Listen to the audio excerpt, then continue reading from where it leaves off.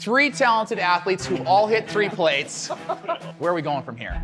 There's a little bit of gamesmanship. There's, yeah, there's a, there's some gamesmanship here. You want to make good, sensible jumps. You don't want any misses. Who wants to call the shot? You said 320. We go 320. That was my max. Uh, you know what? We love PRs, so let's get as many PRs today as we can. Let's go 320. Want to lift on this or? I don't know.